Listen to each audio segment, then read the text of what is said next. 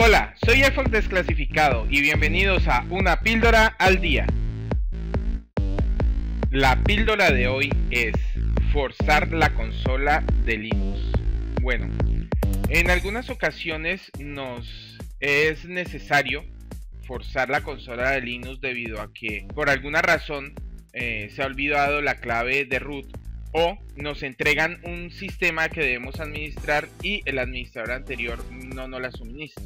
Bueno, es muy fácil de hacer por medio del group. Localizamos la línea donde se llama directamente a la imagen del kernel y colocamos init igual a slash bin slash bash. ¿Por qué se hace esto? Esto se hace para que init como el primer proceso que inicia dentro del sistema operativo Linux cargue la shell bash predeterminadamente que entra como modo monousuario y le da privilegios de root. Este es el caso de CentOS que a diferencia de SUSE no tiene group 2.0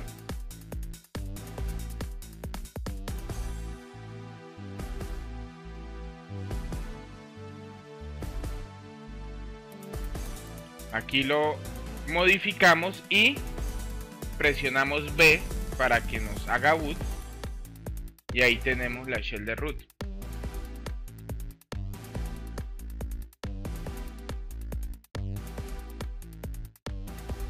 El caso de Ubuntu es muy parecido al de SUSE que vimos al principio. Editamos con E. Buscamos la línea donde está la imagen del kernel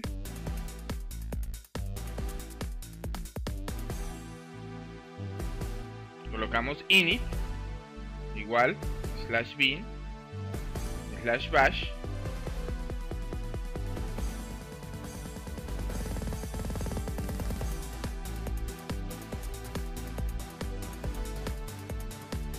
El sistema operativo inicia y ahí tenemos la shell de root.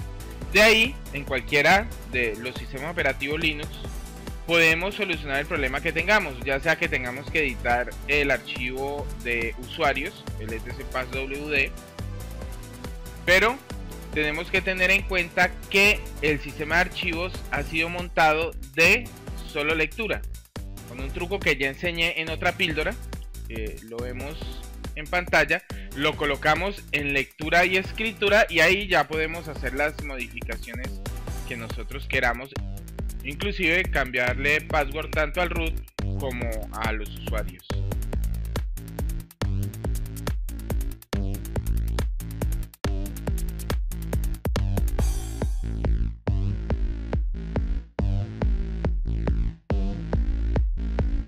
Bueno, y esto fue todo. Soy EFOC Desclasificado, un enfoque diferente de la tecnología informática. Hasta la próxima.